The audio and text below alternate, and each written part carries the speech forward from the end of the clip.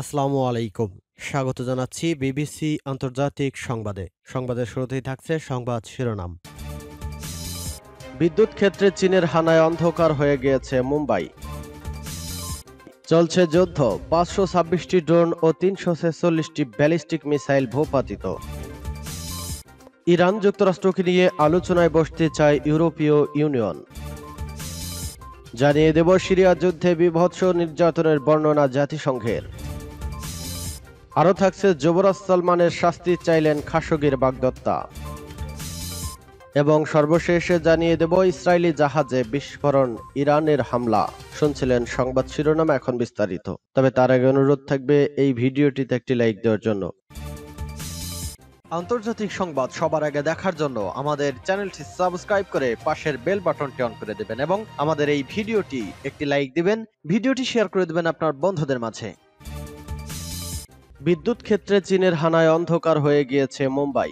ভারত, চীন সীমান্ত সমস্যা সবে মাত্র কিছুটা শান্ত হয়েছে, কিন্তু এর মধ্যেই ফের দুশ্চিন্তা বৃদ্ধি করল নতুন স্টাডি। চীন সরকারের সাথে যুক্ত একটি হ্যাকার গ্রুপ, মেলাওয়ারের মাধ্যমে ভারতের ক্রিটিক্যাল পাওয়ার গ্রিড সিস্টেমকে টার্গেট করেছে বলে জানানো হয়েছে। একটি মার্কিন সংস্থা গবেষণা করে জানতে পেরেছে, মুম্বাইয়ে গত বছর ব্যাপক বিদ্যুৎ বিভ্রান্তের নৈপথ্যে এই কারণটি থাকতে পারে। অনলাইনে অবৈধভাবে অনুপ্রবেশ করে এই কাজটি করা হয়েছে বলে দাবি করেছে রেকর্ড ফিউচার নামে একটি ম্যাসাচুয়েটস ভিত্তিক সংস্থা। ভারতের বিদ্যুৎ ক্ষেত্রকে লক্ষ্য করে এই কাজ করছে একটা চীনা গোষ্ঠী। এমনটাই দাবি করা হয়েছে।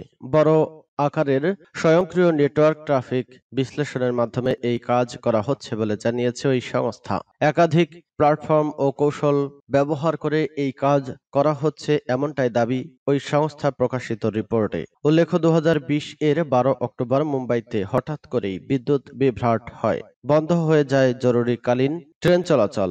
অনলাইনের কাজেও সব থমকে যায়। মারাত্মক ক্ষতিগ্রস্ত হয় অর্থনৈতিক ক্ষেত্রে। মুখ্যমন্ত্রী উদ্ভব ঠকরে এই ঘটনার তদন্তের নির্দেশ দিয়ে প্রয়োজনীয় পরিষেবা চালু করতেও দুই ঘণ্টা সময় লেগেছিল। এই ঘটনাটি নিয়ে কেন্দ্রীয় সরকারকেও অবগত করা হয়েছিল। যদিও এখনও পর্যন্ত মার্কিন সংস্থার রিপোর্ট নিয়ে ভারত সরকারের পক্ষ থেকে কোনো প্রতিক্রিয়া জানায়নি। দু হাজার বিশ সালের প্রথম দিকে রেকর্ড ফিচার জানায় ইনসিক্ট গ্রুপ, চীনা সরকারের মদতপুষ্ট গোষ্ঠীর থেকে। ভারতীয় সংস্থাগুলোর বিরুদ্ধে সন্দেহভাজন কিছু টার্গেট করে ইন্ট্রোশন ক্রিয়াকলাপের মাধ্যমে কয়েকটি চক্রের বড় অভিযোগ সামনে এসেছে। রেকর্ড ফিচারের রিপোর্ট অনুসারে দু হাজার বিশ সালের মাঝামাঝি থেকে ভারতের বিদ্যুৎ খাতের বিশাল অংশ লক্ষ্য করে ব্যবহার করে বিদ্যুৎ সংক্রান্ত খুঁটিনাটি হাতিয়ে নেয় চীন। রিপোর্টে এও বলা হয়েছে, দুটি ভারতীয় সমুদ্র বন্দরকেও লক্ষ্যবস্তু করা হয়েছে, সূত্র ইন্ডিয়ান এক্সপ্রেস। সৌদি এ পর্যন্ত হুতিদের পাঁচশো ছাব্বিশটি ড্রোন এবং তিনশো ছেচল্লিশ ব্যালিস্টিক মিসাইল ভূপাতিত করেছে। সৌদি আরব নেতৃত্বাধীন সামরিক জোটের মুখপাত্র ব্রিগেডিয়ার জেনারেল তুর্কি আল মালিকি বলেছেন বিশ্বের মধ্যে হুতি মিলিশিয়ারা একমাত্র সন্ত্রাসী গ্রুপ যাদের সামরিক সক্ষমতা রয়েছে, কারণ তারা ইরানের বিপ্লবী গার্ডের সহায়তা চাচ্ছেন। তিনি বলেন, আমাদের প্রতিরক্ষা ব্যবস্থা এ পর্যন্ত পাঁচশো ছাব্বিশটি ড্রোন এবং তিনশো ছেচল্লিশটি ব্যালিস্টিক মিসাইল ভূপাতিত করেছে। বিশ্বের আর কোনো দেশ এত বিপুল সংখ্যক ব্যালিস্টিক মিসাইল এবং ড্রোন ভূপাতিত করেনি। জেনারেল আল মালিকি বরাদ দিয়ে আল আরাবিয়া জানিয়েছে, ইয়েমেনের রাজধানী সানার দখলে থাকা হুথি বিদ্রোহীরা ইরানি জেনারেলদের নির্দেশনায় হামলা চালায়। হুথিদের হামলা মোকাবেলায় জোটের সক্ষমতা রয়েছে বলেও দোরারোপ করেন জেনারেল আল মালিকি। তিনি বলেন, এই গ্রুপটি বেসামরিক ব্যক্তিদের টার্গেট করে থাকে। আমরা বেসরকারি ব্যক্তিদের উপর হামলাকে সীমা লঙ্ঘন বলে মনে করি। মারিবে তাদের হামলায় তিন হাজার হুথি বিদ্রোহী নিহত হয়েছে, উল্লেখ করে এই সামরিক কর্মকর্তা বলেন, ব্যালিস্টিক মিসাইল এবং ড্রোন হামলা মনিটর করার সক্ষমতা আছে আমাদের। শনিবারও সৌদি আরবের আকাশসীমায় হামলা চালিয়েছে হুথি বিদ্রোহীরা। ওই দিন দুই ঘণ্টার মধ্যে ছয়টি হুমকি ব্যর্থ করে দেওয়া হয়েছে বলে জানিয়েছে সৌদি আরব। ইরান যুক্তরাষ্ট্রকে নিয়ে আলোচনায় বসতে চায় ইউরোপীয় ইউনিয়ন। ইরানের পরমাণু সমঝোতার সবগুলো পক্ষ ও যুক্তরাষ্ট্র নিয়ে অবিলম্বে আলোচনায় বসতে চান ইউরোপীয় ইউনিয়নের পররাষ্ট্রনীতি বিষয়ক প্রধান কর্মকর্তা জোসেফ বরেল, তার মুখপাত্র পিটার স্টার্নের সোমবার ব্রাসেলসে এক সংবাদ সম্মেলনে একথা জানান। বরেল একই প্রস্তাবের ব্যাপারে ইরানের প্রতিক্রিয়া সংক্রান্ত এক প্রশ্নের জবাবে তিনি একথা বলেন। স্টার্নও বলেন, যুক্তরাষ্ট্র সহ সব পক্ষকে এক টেবিলে নিয়ে আসার জন্য ইউরোপীয় ইউনিয়ন সর্বোচ্চ চেষ্টা চালিয়ে যাচ্ছে। তিনি বলেন, জোসেফ বোরেল চান পরমাণু সমঝোতায় স্বাক্ষরকারী সবগুলো দেশ এই সমঝোতা পুরোপুরি বাস্তবায়ন করুক। এর আগে জোসেফ বোরেল যুক্তরাষ্ট্রের উপস্থিতিতে পরমাণু সমঝোতার বাকি দেশগুলোকে নিয়ে আনুষ্ঠানিক বৈঠকের যে প্রস্তাব দিয়েছিলেন তা নাকচ করে দিয়েছে ইরান। দেশটির পররাষ্ট্র মন্ত্রণালয়ের মুখপাত্র সৈয়দ খাদিব জাদে বলেছেন, পরমাণু সমঝোতার ব্যাপারে ইউরোপ সম্প্রতি যে আনুষ্ঠানিক বৈঠকের প্রস্তাব দিয়েছে, তার জন্য বর্তমান সময়কে উপযুক্ত মনে করছে না তেহরান। খাতিব জাদে রোববার তেহরানে বলেন, জো বাইডেন ক্ষমতায় আসার পর এখনও পর্যন্ত মার্কিন প্রশাসনের নীতি অবস্থানে বিন্দুমাত্র পরিবর্তন আসেনি। বাইডেন প্রশাসন যে শুধু সাবেক ট্রাম্প প্রশাসনের সর্বোচ্চ চাপ প্রয়োগের ব্যর্থ নীতি অনুসরণ করতে যাচ্ছে, তাই নয় সেই সঙ্গে পরমাণু সমঝোতা ও জাতিসংঘ নিরাপত্তা পরিষদের বাইশ একত্রিশ নম্বর প্রস্তাবের ব্যাপারে নিজের করণীয় ঠিক করেনি। এদিকে ইরান পরমাণু সমঝোতা নিয়ে যুক্তরাষ্ট্রের সঙ্গে অনানুষ্ঠিক আলোচনায় বসার ইউরোপীয় প্রস্তাব প্রত্যাখ্যান করায় হতাশ প্রকাশ করেছে ওয়াশিংটন। যুক্তরাষ্ট্রের পক্ষ থেকে বলা হয়েছে, এ বিষয়ে অর্থবছ অর্থবহ কূটনৈতিক তৎপরতা চালানোর জন্য প্রস্তুত রয়েছে তারা। বক্তব্যে কয়েক ঘণ্টার মাথায় হোয়াইট হাউসের মুখপাত্র জেন সাকি বলেন, আমরা ইরানের প্রতিক্রিয়ায় হতাশ হলেও একই সময় দুই পক্ষের এই সমঝোতায় ফিরে আসার লক্ষ্যে অর্থবহ কূটনৈতিক প্রচেষ্টা চালিয়ে নিজেদের প্রস্তুতির কথা ঘোষণা করছি। তিনি বলেন, বিষয়টি নিয়ে পরমাণু সমঝোতার বাকি পাঁচ দেশ, চীন, ফ্রান্স, রাশিয়া, ব্রিটেন ও জার্মানির সঙ্গে আলোচনা করবে ওয়াশিংটন। যুক্তরাষ্ট্র দাবি করেছে পরমাণু সমঝোতায় তাদের ফিরে আসার একই সময়ে ইরানকেও নিজেদের প্রতিশ্রুতি বাস্তবায়নে ফিরতে হবে। কিন্তু তেহরান বলছে, যুক্তরাষ্ট্র এই সমঝোতা থেকে বেরিয়ে যাওয়ার এক বছর পর। ইরান এতে দেওয়া নিজেদের প্রতিশ্রুতি বাস্তবায়নের পরিমাণ কমাতে শুরু করেছে। কাজেই যুক্তরাষ্ট্রকে আগে এই সমঝোতায় ফিরে নিষেধাজ্ঞা কার্যকরভাবে প্রত্যাহার করতে হবে। নিষেধাজ্ঞা উঠে যাওয়ার সুফল বাস্তবে পাওয়ার পর ইরান এই সমঝোতায় দেওয়া প্রতিশ্রুতিতে পূর্ণাঙ্গভাবে ফিরে যাবে। সিরিয়ায় যুদ্ধের বিভৎস নির্যাতনের বর্ণনা জাতিসংঘের।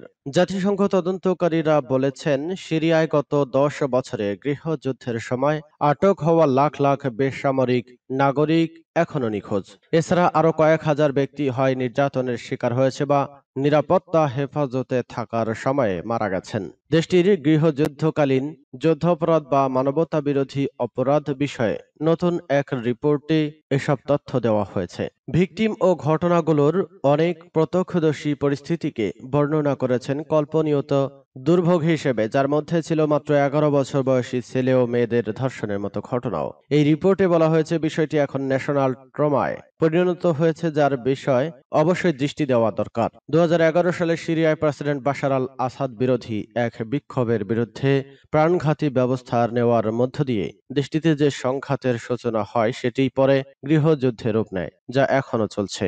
এক দশকের এক সংঘাতে কমপক্ষে তিন লাখ আশি হাজার মানুষের মৃত্যু হয়েছে এবং দেশটির অর্ধেক জনগোষ্ঠী বাড়িঘর ছেড়ে পালিয়ে গেছে। বিভিন্ন দেশে শরণার্থী হিসাবে আশ্রয় নিয়েছে সিরিয়ার অন্তত ষাট লাখ মানুষ। জাতিসংঘ মানবাধিকার কাউন্সিলের স্বাধীন আন্তর্জাতিক কমিশনের সিরিয়া বিষয়ক এই তদন্ত রিপোর্টটি প্রণয়ন করা হয়েছে প্রায় দুই হাজার ছশো পঞ্চাশ সাক্ষ্য করে, আর আটকের পর শতাধিক ঘটনার উপর ভিত্তি করে। এতে দেখা যায়, সিরিয়ার সক্রিয় সব পক্ষই মানবাধিকার লঙ্ঘন করেছে প্রতিপক্ষকে শাস্তি দেওয়ার জন্য। রিপোর্টটিতে বলা হয়েছে যে, আটক অবস্থায় কত মানুষ মারা গেছে তার কোনো হিসাব নেই, তবে ধারণা করা হচ্ছে লাখো মানুষের হত্যা হয়েছে সরকারি হেফাজতেই। অনেক সূত্র থেকেই প্রাপ্ত তথ্য অনুযায়ী নিহতদের বিভিন্ন গণকবরে দাফন করা হয়েছে, যার দুটি অন্তত দামেস্কের শহরতলিতেই। তবে সরকার ও হায়াত তাহারির আল শাম বন্দীদের নির্যাতনের অভিযোগে অস্বীকার করেছে। পাওলো পিনহিরাওরে বলেছেন, পরিবারের লাখ লাখ সদস্যের জানাধিকার আছে যে তাদের প্রিয়জনের ভাগ্যে কি ঘটেছে। এটি একটি ন্যাশনাল ট্রমা যার দিকে সব পক্ষ ও আন্তর্জাতিক সম্প্রদায়ের জরুরিভাবে দৃষ্টি দেওয়া উচিত। জাতিসংঘের এই কমিশন সব দেশকে অপরাধের জন্য জবাবদিহিতার আহ্বান জানিয়েছেন এবং গত সপ্তাহে জার্মানির একটি আদালতের রায়ের প্রতি দৃষ্টি আকর্ষণ করেছে। সেখানের সিরিয়ার একজন সাবেক কর্মকর্তা মানবতা বিরোধী অপরাধের দায়ে অভিযুক্ত করা হয়েছে। সূত্র পিবিসি। যুবরাজ সালমানের শাস্তি চাইলেন খাসকির বাগদত্তা। অনত বিলম্বে যুবরাজ মোহাম্মদ বিন সালমানের শাস্তির দাবি করেছে নিহত সাংবাদিক জামাল খাসকির বাগদত্তা হাদিস চেঙ্গিস। এর ফলে শুধু যে ন্যায় বিচার প্রতিষ্ঠিত হবে তাই নয় সেই সঙ্গে একই ধরনের নৃশংসতা রোধে করারও সম্ভব হবে বলে এক বিবৃতিতে তিনি জানান। খবর পাঠ স্টুডেন্ট। এক টুইটারে বার্তায় চেঙ্গিস আরও জানান, যদি সৌদি যুবরাজ শাস্তি দেওয়া না হয়, তাহলে এর মধ্য দিয়ে চিরদিনের জন্য এমন একটা বার্তা দেওয়া হবে যে খুনের মূল অপরাধী ধরা ছোঁয়ার বাইরে থাকতে পারেন। এতে আমরা সবাই বিপদে পড়ব। আমাদের মানবতায় রক্তের দাগ লাগবে। উল্লেখ্য, সৌদি যুবরাজের নির্দেশে দু হাজার আঠারো সালের অক্টোবরে তুরস্কের ইস্তাম্বুল সহ সৌদি কনসুলেটে খাশোগিকে হত্যা করা হয়। সম্প্রতি প্রকাশিত মার্কিন গোয়েন্দা রিপোর্ট থেকে এই তথ্য জানা গেছে। বিষয়টি সাবেক মার্কিন প্রেসিডেন্ট ডোনাল্ড ট্রাম্প গোপন রাখার নির্দেশ দিয়েছিলেন। ইসরায়েলি জাহাজে বিস্ফোরণে ইরান জড়িত। ইসরায়েলের প্রধানমন্ত্রী বেনিয়ামিন নেতানিয়াহু অভিযোগ করে বলেছেন, গত সপ্তাহে ইসরায়েলি মালিকানাধীন একটি জাহাজে বিস্ফোরণের পেছনে ইরানের হাত রয়েছে।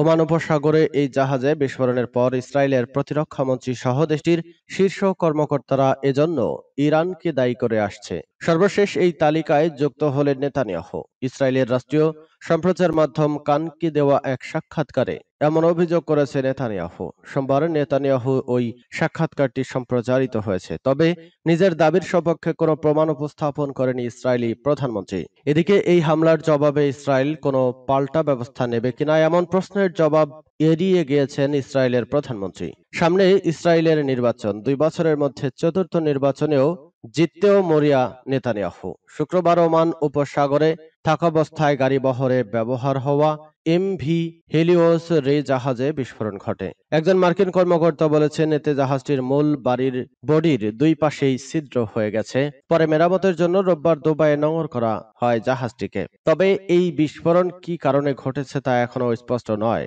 এর আগে ইসরায়েলের প্রতিরক্ষা মন্ত্রী বেনি গান্টোস বলেন, প্রাথমিক পর্যায়ে পর্যালোচনার পর তারা এই ঘটনার সঙ্গে ইরানের সংশ্লিষ্টতা খুঁজে পেয়েছে। তবে যুক্তরাষ্ট্রে এই জাতিসংঘ, ইসরায়েলের রাষ্ট্রদূত এই হামলার জন্য সরাসরি তেহরানকে দায়ী করছেন। এমত অবস্থায় এই অঞ্চলে নতুন করে উত্তেজনা বৃদ্ধির আশঙ্কা দেখা দিয়েছে।